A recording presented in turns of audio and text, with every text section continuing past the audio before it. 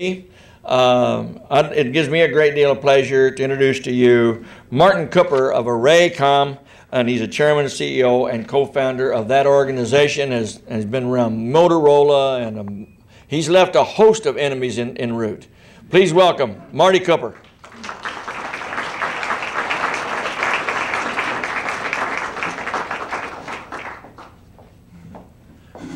Thank you for coming. Thank you. I can't stay, but you, you got them. You- Pass you've the plate afterwards. Because they don't give willingly. Well, thank you so much, uh, Congressman Honda and uh, Senator Burns. Uh, I, I can't tell you how privileged I am and how I, I'm honored I am to uh, be uh, invited here, and I, especially privileged since uh, both uh, Congressman uh, Honda and Senator Burns remember my name. Uh, and, uh, not everybody has that uh, talent. We got a minister in our town. Uh, I live in Del Mar, California, who can't remember a name for the life of him. And he came up with a trick. His trick was he, every time he had an event where he had to remember people's name, he'd write the names down on a piece of paper and he'd pin it on the inside of his coat.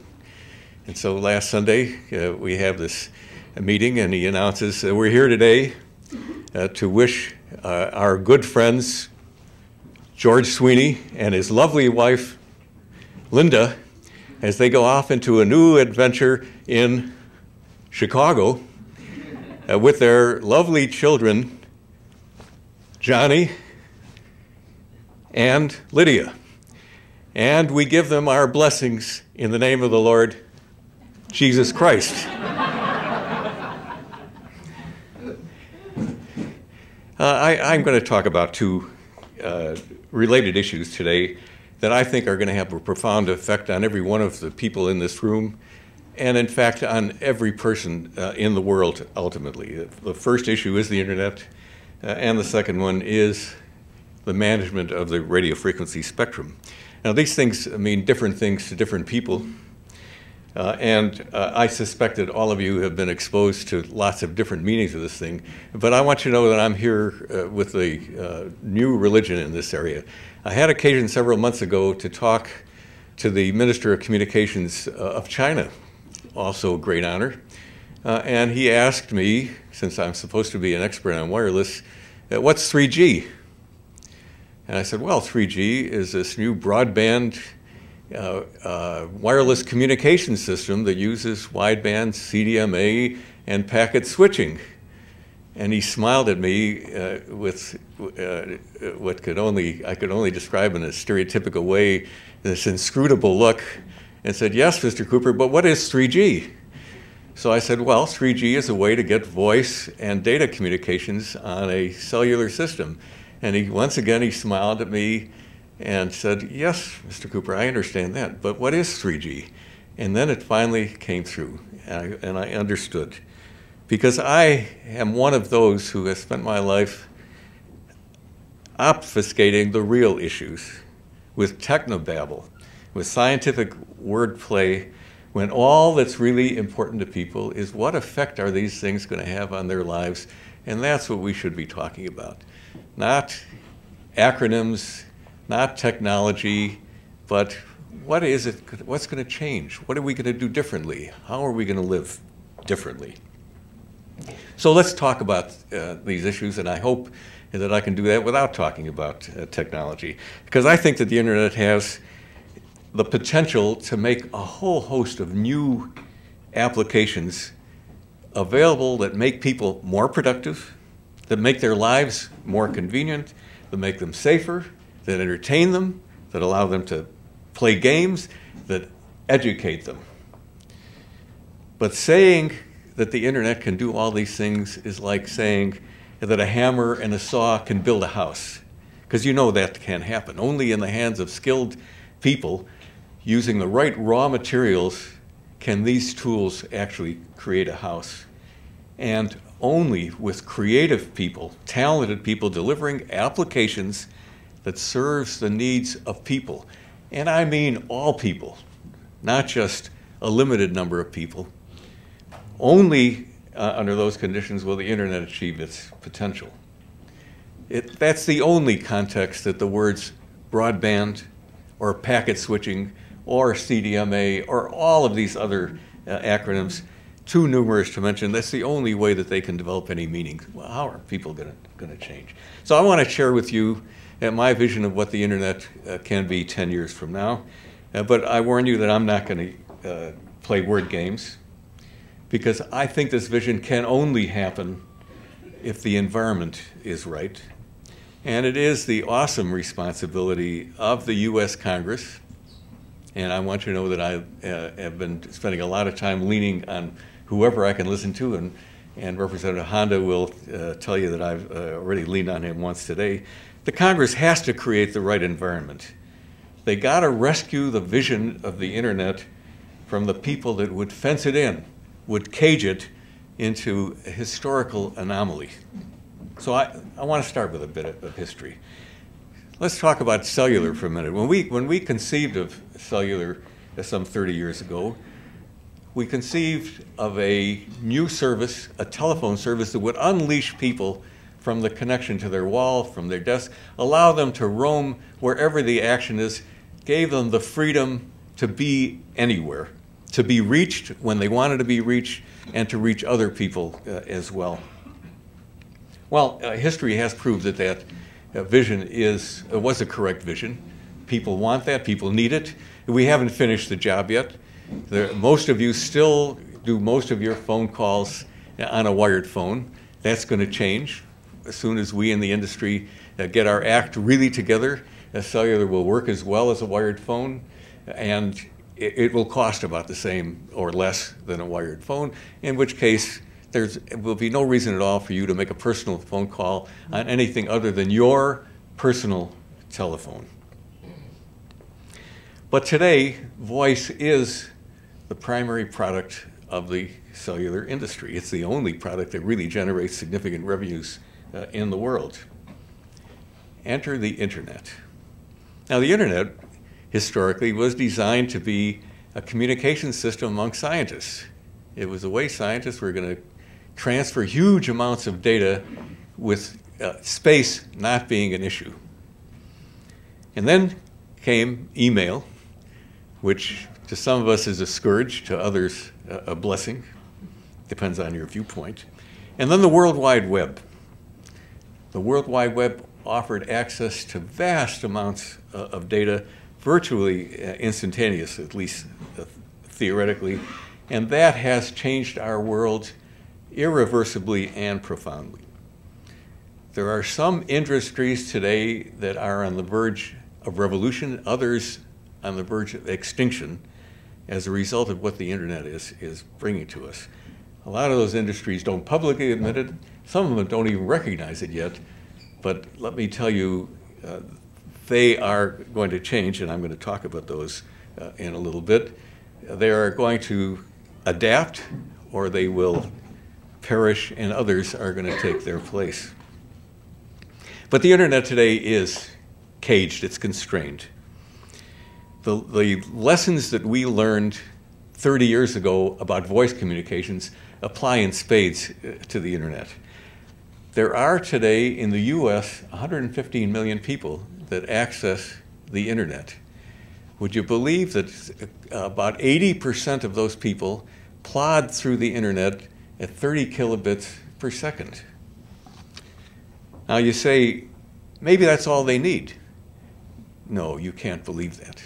You can't believe that somebody reading a book, for example, can read a page and then try to turn that page and have to wait 20 or 30 seconds for the next page to appear. People would have a lot of trouble reading books, and yet that's the experience that you have uh, on the internet today. You spend all kinds of time waiting for stuff to download. Uh, uh the, the people that operate on the internet at 30 kilobits per second, at dial up speeds, who have to wait to dial up in the first place uh, are benefiting from a tiny percentage of what the internet can uh, deliver. What should the internet be?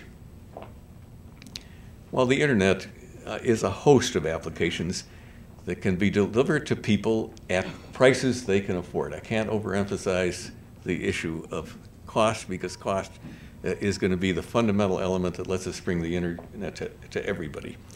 The internet is thirsty young minds flipping through web pages as fast as they can absorb, not stuck with a computer plugged into a wall, but wherever they want to be, whether it's sitting on the porch with their family or sitting in the, in the uh, uh, park uh, or waiting in line for something to happen in these interminable lines that we have uh, lately. The internet is an elderly person or a heart patient, or maybe just anybody who is, gets sick and wants to do a doctor visit, not when they can get an appointment, but while they are still sick. And the internet does have the capability of delivering huge amounts of data instantaneously from a person. We know how to measure all those things, all the vital functions of a person's body. And we can deliver those things to a doctor. The doctor can do a diagnosis, and the person who is sick can see the doctor's face in real time as the doctor prescribes a solution to that particular problem. The internet is music delivery. Forget about CDs. The internet is picture taking. Who ever thought that you could have an a industry that depended upon film or upon transferring pictures from a digital camera to a computer? The internet is game playing in real time with people playing games with each other where space is not uh, an issue.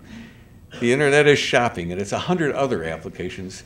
They're all done with whatever speed is needed and with the freedom to move, the freedom to be anywhere. And an internet that can adapt to such a wide variety of application can, with just a flip of a software switch, that internet can be dedicated to emergency services in the event of a catastrophe. It's a huge issue. Why? It, it turns out that, as we have discovered in virtually every catastrophe that's happened, whether you take the, the most extreme one was 9-11, but a situation like Columbine uh, in, in uh, Colorado. When you have a catastrophe, the, all the communication systems fail. The public switch network fails because everybody's trying to make phone calls uh, and nobody can get through. Same with the cellular systems. Would you believe that the local police can't talk to the state police, can't talk to the county police, can't talk to the FBI, can't talk to the other federal people, and all of their systems collapse? Why? Impossible to build a system in every location of the country that will serve all uh, of the possible emergencies that can happen.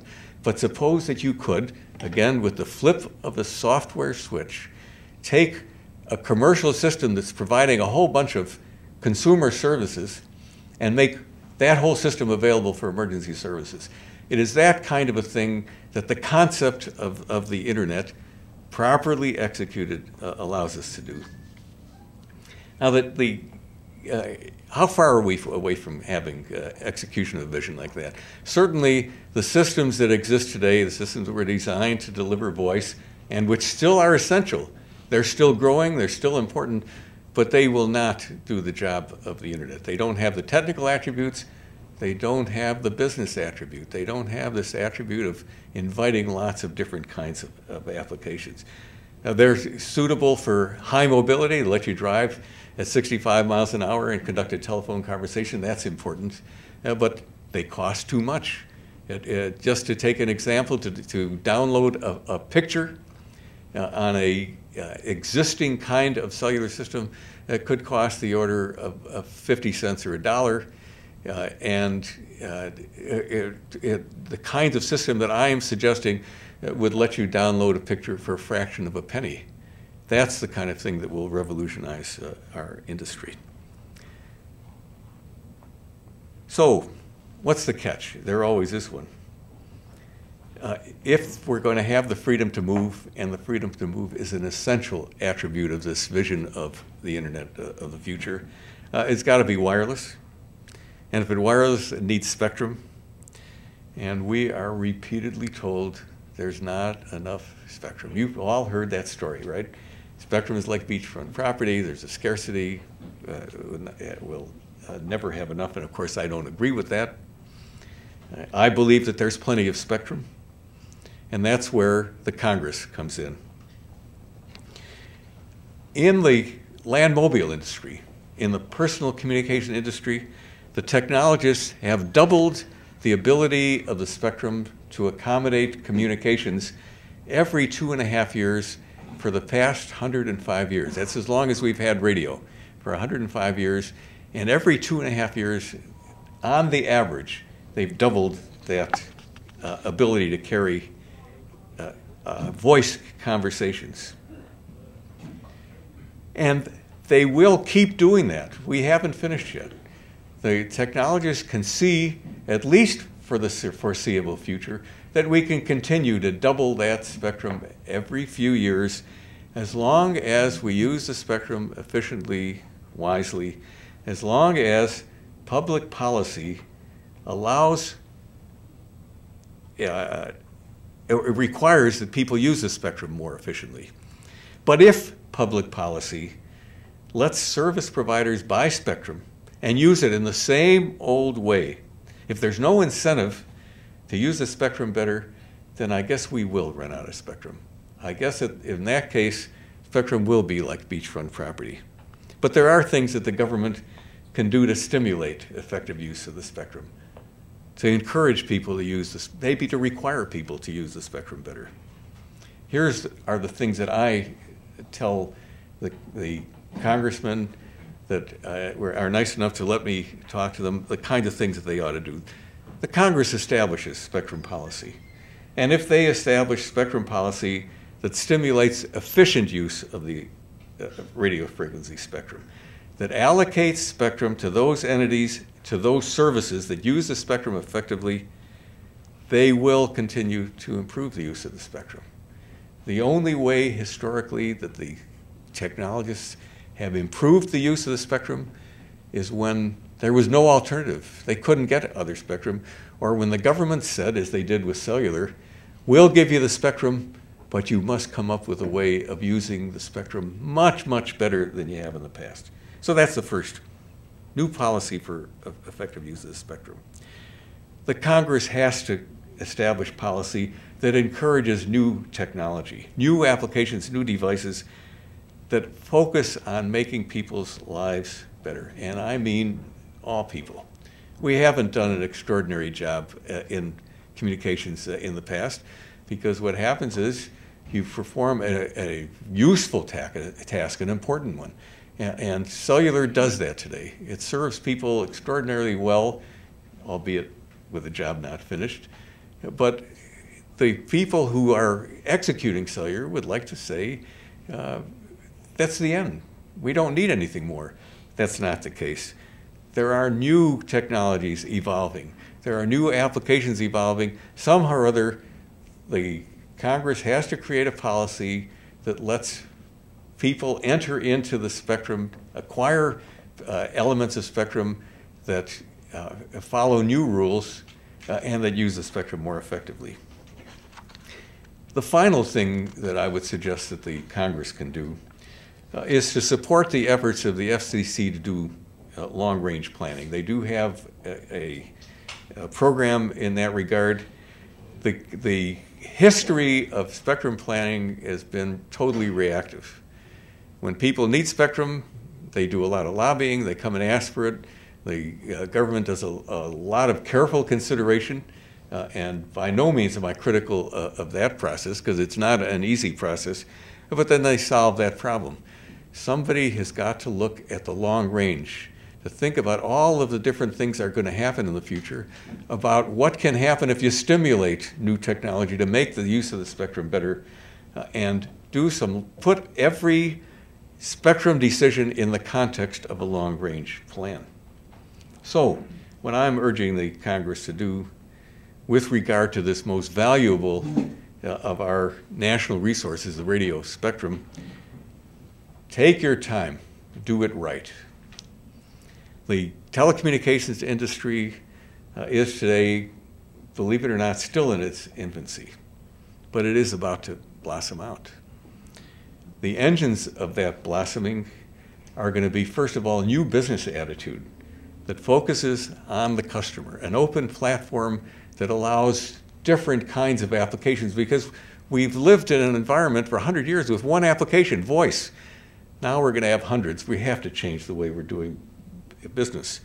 we have to look at new technologies that multiply the ability to use the spectrum, not just add percentage of, of increments. And we need a public policy that makes the spectrum available to those who use it well and who continue to improve the way that they use the spectrum. All these things that I talked to you about today, the vision of the internet, the new public policies that are required, none of those things are going to happen very quickly. They are disruptive changes. Disruptive changes always take longer. But we are going to see major changes in our industry in the next 10 years. Don't say that I didn't warn you. Thank you very much.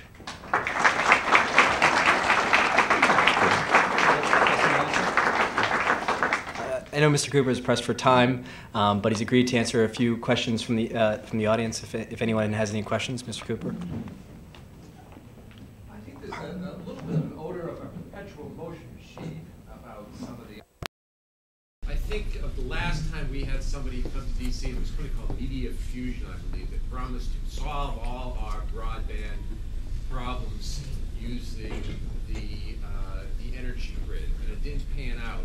What I'm curious about are who loses with this technology? Is it a completely a win-win? Everything is going to be solved technology.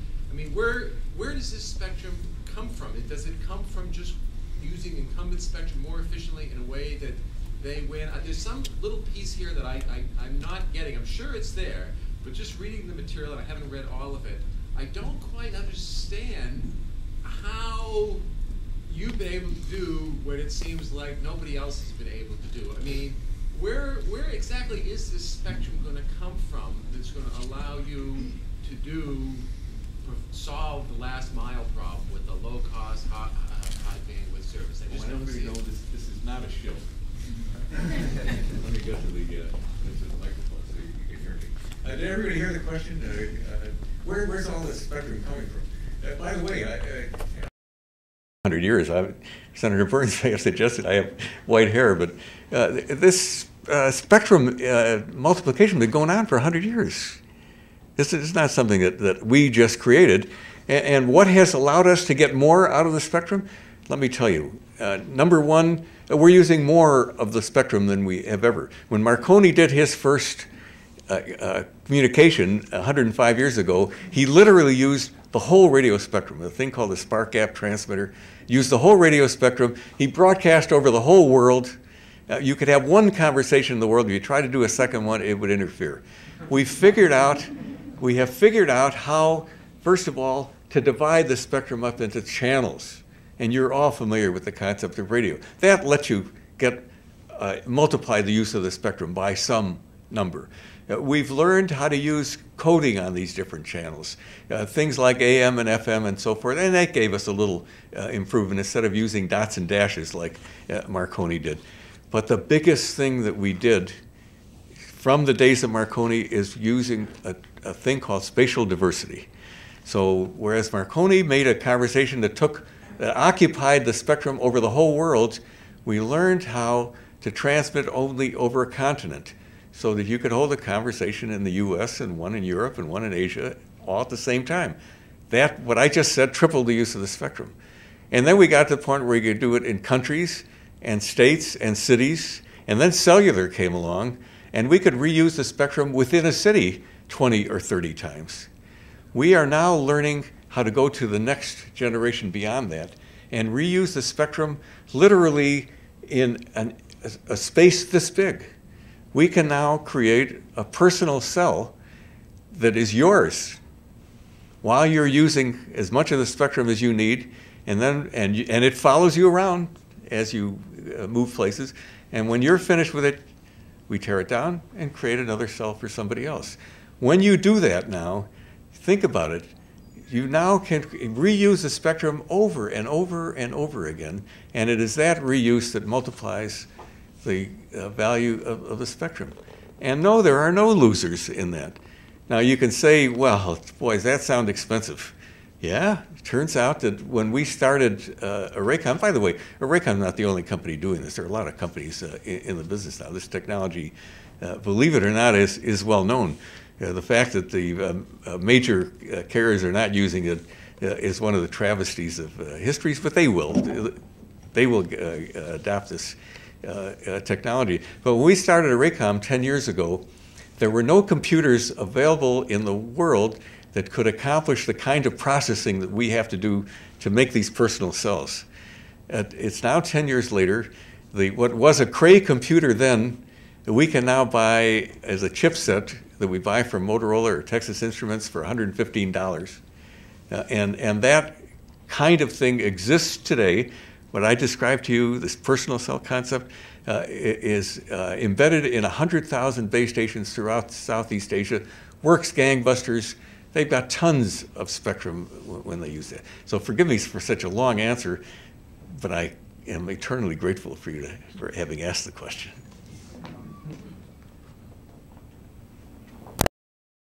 Lawrence Lessig wrote a book recently, I'm sure you're familiar with it, The Future of Ideas, where he introduced the idea of a spectrum commons. Do you have any viewpoints on that um, idea or theory? Uh, I don't know if you would all hear that. Uh, I actually, I'm not familiar with that specific concept, but a spectrum common, and my assumption is we're talking about everybody having access to the spectrum all the time. Uh, and so that's the vision uh, that I talk about when I talk to people who uh, I'm not worried about thinking I'm really a kook.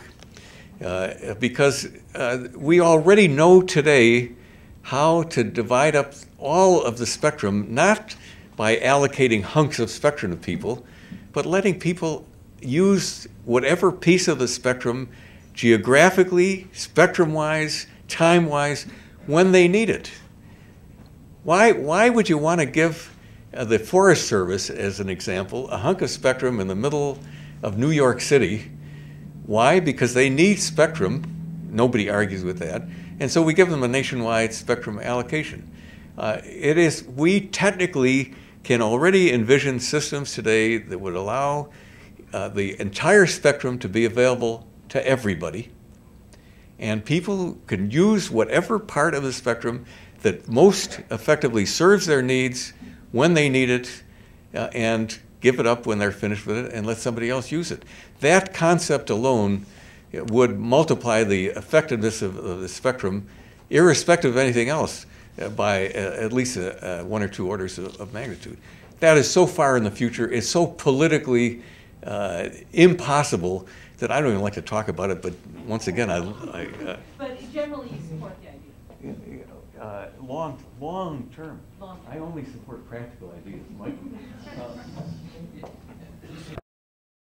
Both of these questions is, you know, Lessig was talking about unlicensed spectrum.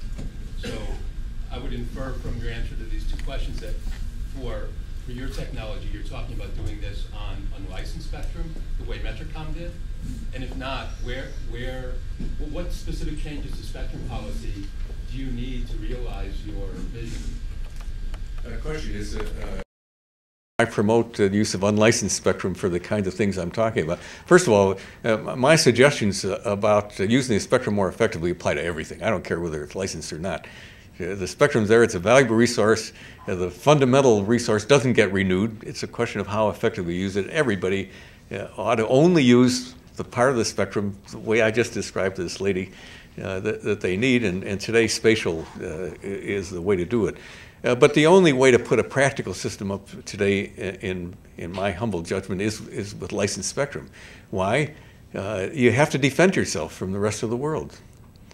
And, and licensing gives you that opportunity. It gives you the opportunity to know that you can predict the kind of service that you can offer to somebody uh, in the sense of having enough capacity and in the sense, uh, in the sense of uh, defending yourself from people that may interfere with you.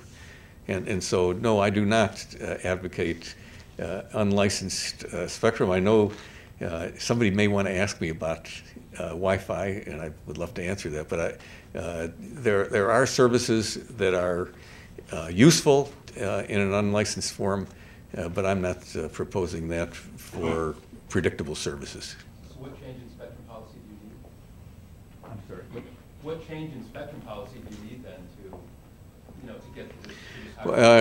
we need a policy, first of all, that is agnostic with respect to technology. As an example, uh, uh, the, the uh, policy for cellular spectrum today is, is almost totally focused on frequency division duplex. That is to say, uh, the way cellular works today, I don't know if you're all familiar with how your cell phones work, I know uh, most of you are, but when you talk, you talk on one radio channel, uh, and when you listen, you listen on another radio channel that may be 50 megahertz uh, separated from that. And when we created cellular 30 years ago, that was the way to do it.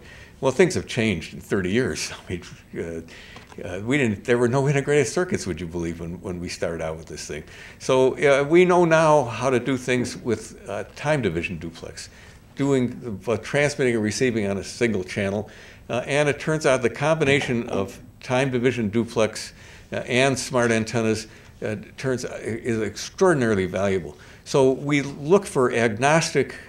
I'm not suggesting we throw frequency division duplex out, but somehow spectrum policy has to make it uh, possible for new technologies to uh, get fit into the uh, spectrum. That's one example. the second one is somehow or other the uh, auction process uh, has to be adjusted so that there is the opportunity for new ways of doing things, things to be adopted. if in fact the only way that you can ever build a new technology or a new system is to have a ton of money, like billions of dollars, and then how are we ever going to do anything new? And so there has to be a policy that in, invites innovation uh, and uh, uh, that looks to new things for the public. It focuses not on uh, technology, but on what the needs of the people are. well, that gentleman, then you um, related back to the questions we've been talking about, there's a concept called the tragedy of the commons. And if we establish a spectrum common, you may run into this problem we have on the internet uh, in some ways with security and things like that. How do you uh, see protecting the spectrum common from some of the problems that can create a tragedy of the commons? Is it a policy issue or is it a technology issue or some kind of combination will allow us to use it properly and not misuse, misuse it? Uh, I don't know. You, have all heard the question about the, the common thing. I, I, don't want to get hung up on the on the common thing, uh, so I'm going to give you. A, I hope you'll forgive me a very general answer. Uh, I have ultimate confidence in uh, technology. The the all of these problems you hear about the uh, the problems of security, you know they're going to get solved. Uh, the, the problems of interference are going to get solved one way or another. It just takes time. Uh, but, but I, uh, the reason I don't want to get into the common thing is I really do think that's the next generation something. The, the world it, it just is not ready uh, to just abandon the principles uh, of, of 50 or 60 or 100 years of telecommunications and do something entirely different. And so I don't have that many years left to battle things. I'm going to fight battles that I, that I know I could win. This may be on the same level as that, maybe, I don't know, but I'll, ask you. The Navy has been doing studies now for about 20 How they are, are seeking out a lower uh, entity in the spectrum between human beings and uh, the, the, the pickup absorption between human beings and the communications that are brought between human beings, and it's, it's on, a, on a, a different level of spectrum. Now, uh, because it doesn't burn off so much heat, and because it doesn't have uh, the abnormalities of a cell phone, they found that it might be more useful to be able to find out where that spectrum specifically is so that we can apply it to uh, uh a non-radiated uh, factor that we have in our cell phones now concerning the intake of the, the absorption level. Do you see anything in your crystal ball over that? Else. Uh, uh, if you know uh, all of the technology behind something, some new idea, and if it's very clear and it works in the laboratory, uh, and and all the answers are there, you're 10 years away. If you've got to st start out the question as you just did about, gee, we've got this inkling that there may be something there. Oh, holy smoke! I mean, uh, it, it, it not not in our uh, lifetime. So that's just a projection. I, I, hate to be negative. The science fiction writers can write about stuff like that, yeah, but I certainly don't have to worry about it in, in my career. I think we have time for one more question. Um, Well, you pick it. uh, I, I'll, right, right here, sorry. Uh, reallocation of spectrum, do you think, uh, we need to reallocate the spectrum that's already been? Do we need to reallocate the spectrum? I, that's, that that is the hardest question of all, and Mike Calabrese can, can work on that along with, with other people. But there are some travesties in every segment of the spectrum of people using the spectrum so inefficiently compared to stuff that we absolutely know about uh, that it's a heartbreak. So, uh, should we, if, if we really believe that ultimately the spectrum can make all our lives better, can make us more productive, can make us happier, uh, shouldn't we be uh, refarming the spectrum? Uh, and, and our efforts to do that, uh, my, my, my guys in Washington are going to uh, really be mad at me, but they are, they are pitiful. I mean, take, take a look at, should I not talk about broadcast spectrum? you know, we're, we're using the, and I'm not picking on the broadcasters, and, and they know that. But the, we're using the broadcast spectrum today. And by the way, they're not the worst by any means. Uh, but the, uh, we're using the broadcast spectrum today with the rules that were established 60 or 70 years ago. Uh, and, uh, and look at it. And by the way, in the last 50 years, uh, for those of you that aren't real quick on mathematics, for the last 50 years, we've improved two-way wireless communications by a million times. And, and for the last 60 or 70 years, the, the broadcast industry has been using the same standard.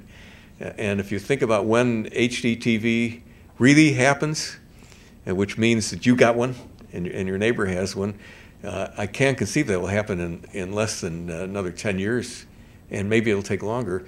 And I guarantee you, from the viewpoint of a technologist, that when that happens, it will be obsolete.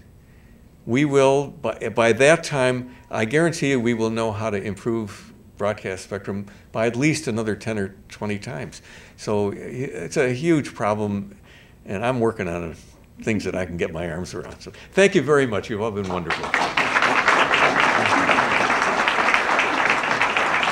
Thank you all very much.